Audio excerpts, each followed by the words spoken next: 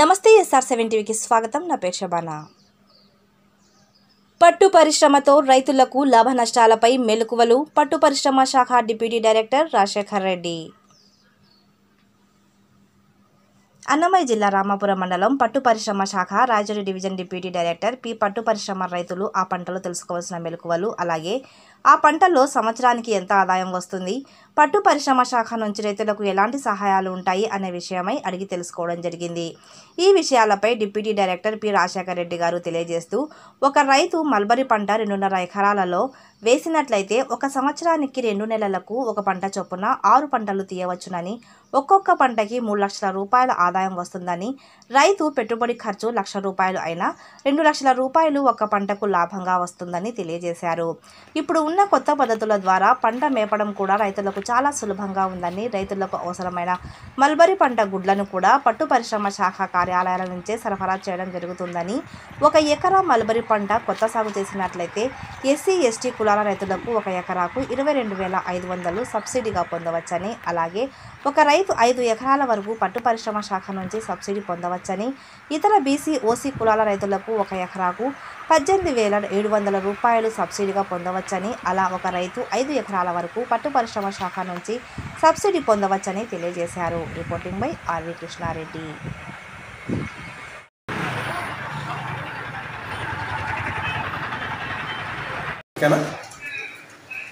నమస్తే SR seven టీకి seven టీవీకి స్వాగతం. నా పేరు ఆర్వి కృష్ణారెడ్డి రామాపురం మండలం అన్నమయ్య జిల్లా రిపోర్టర్. మరి పట్టు పరిశ్రమ రైతులకు ఆ పంటలో తీసుకోవాల్సిన మెలకువల గురించి అలాగే పట్టు పరిశ్రమ శాఖ నుంచి రైతులకు ఎలాంటి సహాయాలు అందిస్తున్నది? మరి మన పట్టు పరిశ్రమ శాఖ రాయచోటి అసిస్టెంట్ డైరెక్టర్ను అడిగి తెలుసుకుందాం.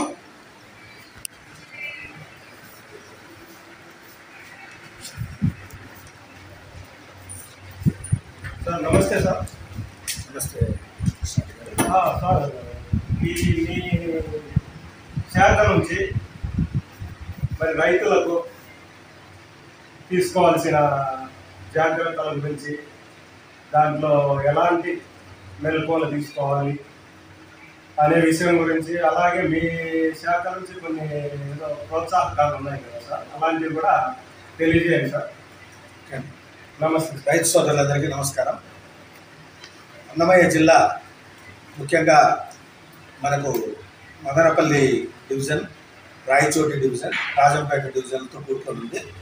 దీంట్లో మదనపల్లి డివిజన్లో రాయచోటి డివిజన్లో మల్బరీ విస్తీర్ణం అయితేనేమి మల్బరీ రైతులు అయితేనేమి చాలామంది ఉన్నారు.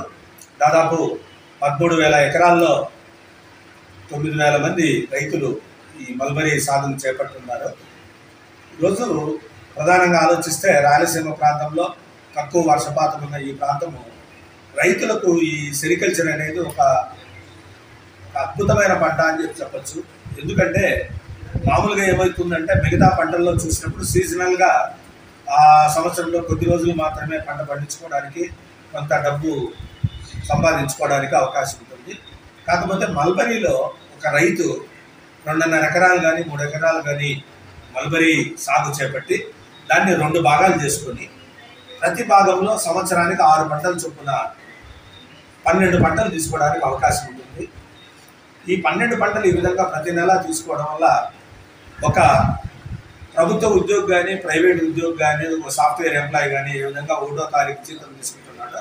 అదేవిధంగా జీతము ప్రతి నెల సంపాదించుకునే విధంగా మల్బరీని ప్లాన్ చేసుకునే ఒక సౌలభ్యం అనేది పంటలో ఉంది. అందువల్ల రైతు సోదరులు ముఖ్యంగా వాళ్ళ ఇళ్ళలో నిరుద్యోగులైన విద్యావంతులు ఉంటే వాళ్ళు ఆ బెంగళూరు చెన్నై హైదరాబాద్ పోయి పదివేలకు పదహైదు వేలకు పనిచేసే అవసరం లేకుండా ఇంట్లోనే సక్రమంగా మూడు ఎకరాల ప్లాంటేషన్ చేసుకొని దాన్ని రెండు భాగాలు చేసుకొని ఆ ఒక భాగంలో ప్రతి నెల దాదాపు ఐదు వందల డిఎఫ్ఎల్స్ డిసీజ్ ఫ్రీ లైన్స్ అంటే ఒక డిసీజ్ ఫ్రీ లైన్లో ఏడు వందల నుంచి ఎనిమిది వందల గుడ్లు ఉంటాయి. అన్ని పురుగులు వస్తాయి. సో ఐదు వందల గుడ్లని ఐదు వందల డిఎఫ్ఎల్స్ని చాకింగ్ చేస్తే దాదాపుగా నాలుగు లక్షల పురుగులు ఆ పంటలో ఉంటాయి. బైవోల్టిన్ క్రాస్ బ్రీడ్స్ సంకర జాతి గుడ్లు రెండు రకాలు ఉంటాయి. బైవోల్టిన్ బైవోల్టిన్ అయితే ఒక కిలోకి ఐదు వందల పురుగులు మాత్రమే ఐదు వందల గుడ్లు మాత్రమే ఉంటాయి. సిబి అయితే ఆరు వందల పురుగులు ఉంటాయి. కాబట్టి ఈ తామాషాలో ఆ నాలుగు లక్షల పురుగులను క్యాలిక్యులేట్ చేసినప్పుడు మనకు దాదాపుగా మనకు రావాల్సిన పంట దాదాపు ఎనభై కేజీలు వందకు క్యాలిక్యులేట్ చేసినా కూడా నాలుగు వందల కేజీలు పండించడానికి అవకాశం ఉంటుంది. సరాసరి మనకు డెబ్బై ఐదు రాయలసీమ ప్రాంతంలో నడుస్తూ ఉంది. ఆ లెక్క ప్రకారం వేసినప్పుడు దాదాపు మూడు వందల అరవై నుంచి మూడు వందల డెబ్బై కిలోలు వస్తుంది. ఇప్పుడు మార్కెట్ పరిశీలిస్తే బైవోల్టిన్ ఐదు వందల రూపాయలు నాలుగు వందల యాభై నుంచి ఐదు వందలు ఉంది. క్రాస్ బ్రీడ్స్ మూడు వందల యాభై నుంచి నాలుగు వందల యాభై రూపాయల వరకు ఉంది.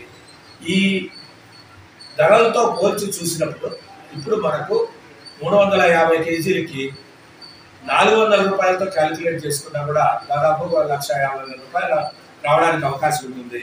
యాభై వేల రూపాయల పంట ఖర్చు కింద తీసిన నికరంగా లక్ష రూపాయలు అనేది రైతుకు దొరికే అవకాశం ఉంది. పంట కేవలము ఇరవై నాలుగు రోజుల లోపల కంప్లీట్ అవుతుంది.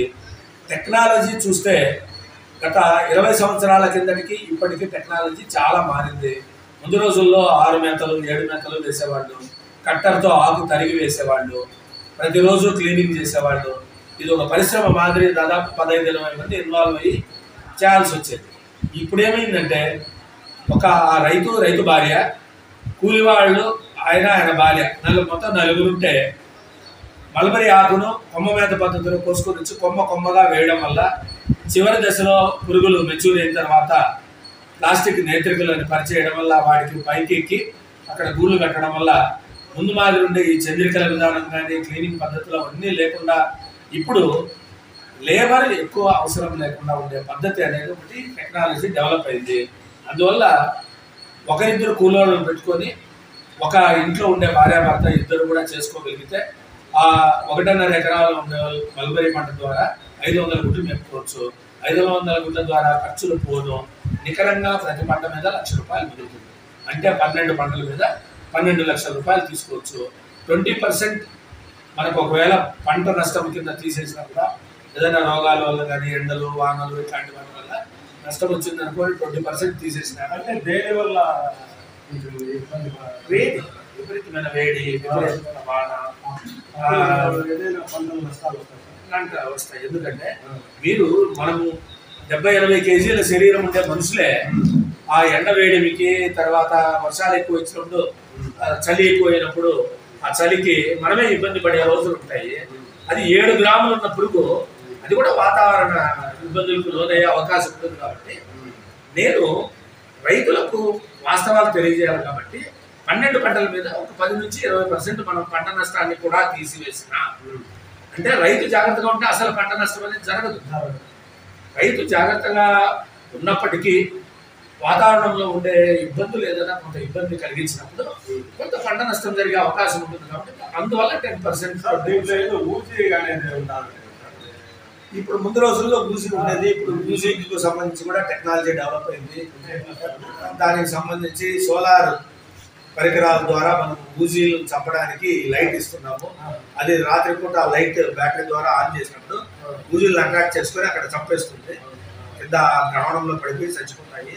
సో ఇప్పుడు మనకు జనరల్గా ఆలోచిస్తే ముందు రోజుల్లో ఊజీ కొత్తగా వచ్చిన రోజుల కంటే ఇప్పుడు చాలా పంట నష్టం అనేది చాలా తగ్గింది.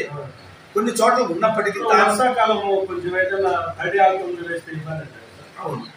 ఎందుకు వస్తుంది ఆ తడాకు అంటే వాతావరణంలో వేడి ఉంటూ మనం తడి ఆకు వేసినప్పుడు ఆ తడి ఆకును డైరెక్ట్గా పురుగు శరీరంలోకి తీసుకోవడం వల్ల బ్యాక్టీరియా ఇన్ఫెక్షన్ ఇన్ఫెస్టేషన్ వచ్చే అవకాశం ఉంటుంది కాబట్టి ఈ పెట్రిన్ ఈ ఆ, పాల పురుగు రోగం ఏదైతే ఉందో అది బ్యాక్టీరియాకి సంబంధించిన. బ్యాక్టీరియా ద్వారా వస్తుంది కాబట్టి ఆ కణుపుల దగ్గర నీళ్ళ నీళ్ళు పేరుకున్నట్టుగా ఆ నీళ్ళు పోయి పేరుకొని అక్కడ బ్యాక్టీరియా వృద్ధి చెంది క్రమంగా పురుగు చనిపోయే దశకు వస్తుంది. దానికి నివారణ మనము మిగతా పురుగులకు సోకకుండా దీంట్లో ఏమవుతుందంటే మనం సోకకుండా చూసుకోవాల్సిందే తప్ప రోగం వచ్చిన తర్వాత ఏమి చేయలేము. అందువల్ల మనము వ్యాధి నిరోధక చర్యలు తీసుకుంటాం. వ్యాధి నివారణ చర్యలు పట్టు పట్టుపురుగులు వీలుగా ఎందుకంటే దాని జీవిత చరిత్ర ఇరవై నాలుగు రోజులు ఇరవై నాలుగు రోజుల్లో మనకు దానికి రోగం వచ్చిందనుకుంటే ఆ రోగాన్ని మా- మాపడానికి మనకు ఇంజెక్షన్ విధానాలు టాబ్లెట్ విధానాలు ఏమీ లేవు. అది మనిషి కాదు. పురుగులు కాబట్టి రోగాన్ని రాకుండా చూసుకోవాలి తప్ప రోగ నివారణ మాత్రము చేయలేము మనము. రోగ నిరోధకత చేయొచ్చు. అందువల్ల ప్రతిరోజు పంటను పరిశీలించుకుంటూ చిన్నపిల్లలను చూసుకున్నట్టు చూసుకోగలిగితే పంట ఖచ్చితంగా మనకు డెబ్బై ఐదు కిలోలు వంద గుడ్లకు డెబ్బై ఐదు కిలోలు వచ్చే అవకాశం ఉంది. ఐదు వందల కిలోల మీద దాదాపుగా మనము మూడు వందల నుంచి మూడు వందల యాభై కిలోలు పండించుకునే అవకాశం ఉంది కాబట్టి రైతు సోదరులు ముఖ్యంగా ఇంట్లో చదువుకున్న పిల్లలు ఉంటే బయటికి పోయే పని లేకుండా నేను ఎందుకు చెప్తాను అంటే రెండు విధాలుగా ఈరోజు పిల్లలు బెంగళూరు పంటకు ఎన్ని మేకలు సార్ వేసేది మామూలుగా? రెండు మేత మాడికి ఒకటి సాయంత్రం రెండు మేత కొమ్మ మేత పద్ధతిలో రెండు మేత చాలా పని తగ్గింది. చాలా పని తగ్గింది. నేను ఏమంటున్నాను ఏం బెడ్ మార్చే పనే లేదు.